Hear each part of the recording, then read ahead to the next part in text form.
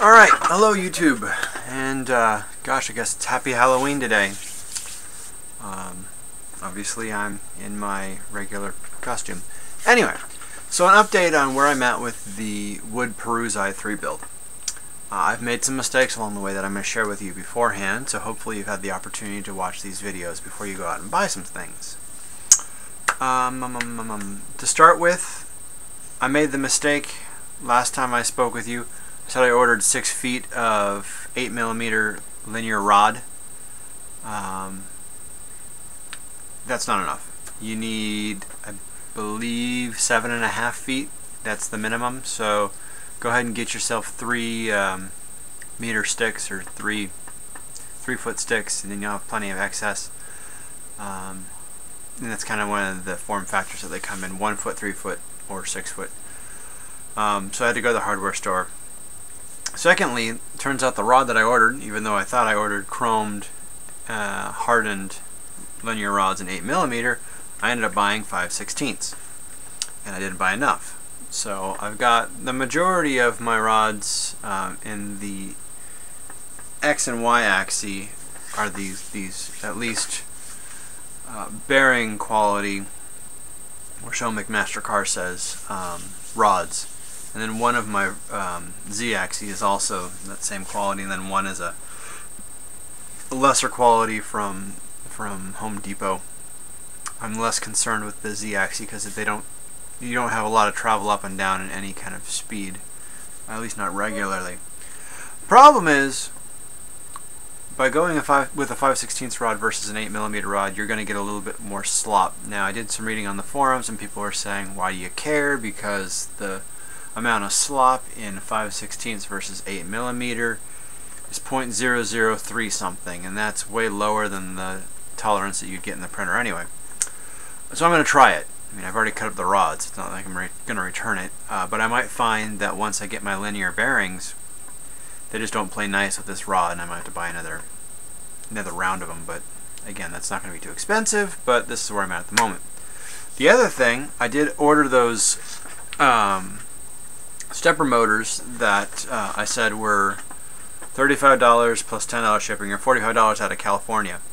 Not bad stepper motors, and the guy did remove, the person I bought it from did remove the pulleys that were fixed on here because I don't have a pulley, uh, pulley puller at the moment. Size-wise was great. They're 4 pounds per inch, so they're pretty strong. But what they didn't say in the auction, um, and I neglected to mention, their 24 volt. I looked up the part number once it arrived. Now the way the auction describes it, it says up to 36 volts, and that's great. But um, your ramps board, if you go the ramps board route, um, and the the Arduino Mega clone and whatnot, they're really only rated for up to about 15 volts. Really, around 12 volts is what you're supposed to do with them. Uh, that's what I intended to do with them because I had a nice uh, 3 amp 12 volt power supply I was going to run this thing on. But now I've got five 24 volt stepper motors, and there are some benefits to having a, a 24 volt stepper motor.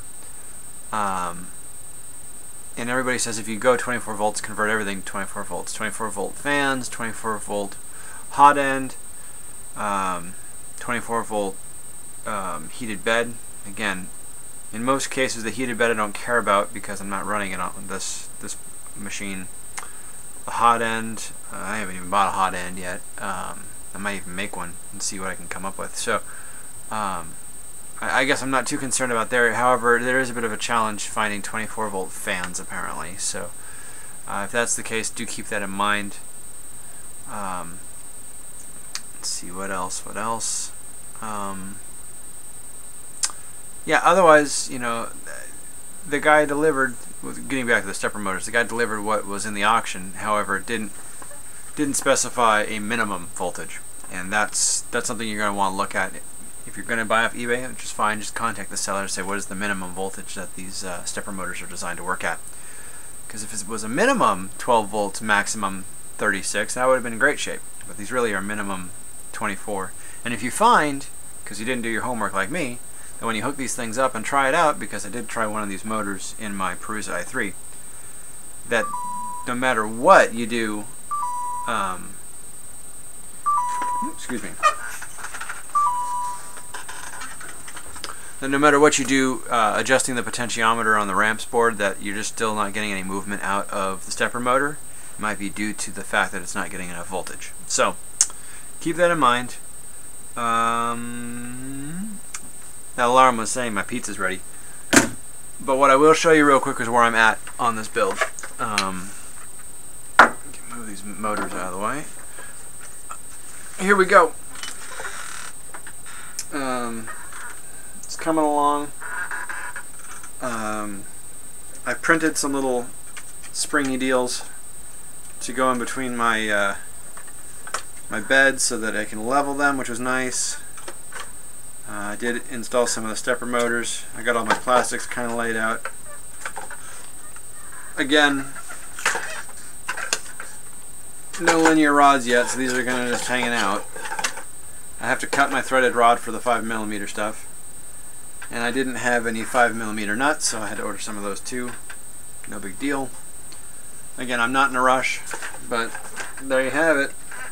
I printed out some of these little corner jobs to kind of make it all happen. Um, it's a process, but it's kind of fun. I may find once I get this all done, and, and bear with me here because I'll let you know when I know, that after I do all this and I've assembled all the parts, or acquired all the parts, that the one downfall is the wooden parts that I've made, and I may just rip those out and buy the uh, aluminum, acrylic, hell they even make carbon fiber. Um, I don't know yet. I'm going to see if I can get this thing to work wood with wood. My doing, that was my intent. But if I find that it's just not doing what I want it to do for purposes of rigidity or um, precision, then I will pull off the wood and go buy probably acrylic or something like that. Another thing I may do is, again, if I don't like what's coming out of it printer-wise once I get it up and running, I may swap out for uh, 8mm chrome linear rod because that's not what I have at the moment. Won't know until I try, but uh, I'm still working on trying to do that really inexpensive build. I don't like throwing money at things if I can help it. But at the same time, I do have money to invest in something to be functional. So I will report back. In the meantime, this is where we're at.